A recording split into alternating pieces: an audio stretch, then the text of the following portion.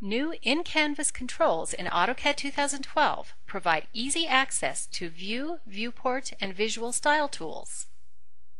Double-click on the Viewport control to quickly display multiple model space viewports.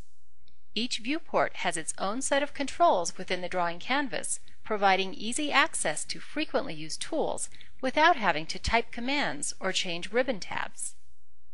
You can maximize the current viewport, select from standard viewport configurations, or create and access custom viewport configurations.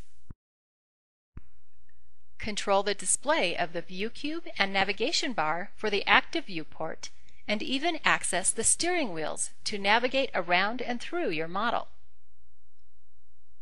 Double-click the viewport control to maximize the current viewport.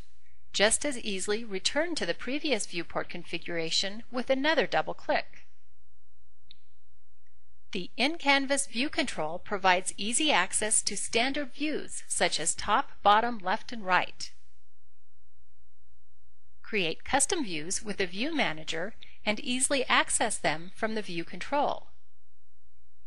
In addition to viewports and views, the in-canvas control provides easy access to visual styles.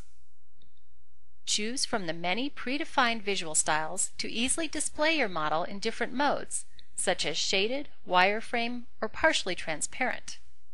Access the Visual Styles Manager to create and modify custom visual styles, and easily select your custom visual styles from the in-canvas control. As is typical with most AutoCAD interface elements, you can control the display and appearance of the in-canvas viewport control.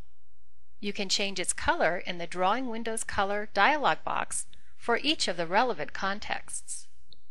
If you don't need these controls at all, you can turn them off on the 3D Modeling tab of the Options dialog box.